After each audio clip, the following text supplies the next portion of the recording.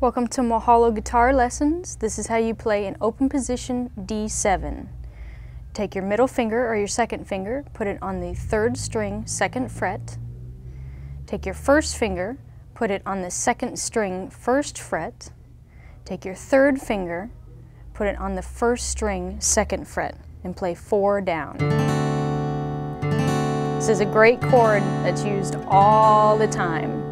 Sounds great if you end on G just so you know. But this is your D7 open position chord. Hey, thanks for watching. If you want to learn more guitar chords, check out these videos and also check out mahalo.com slash playguitar.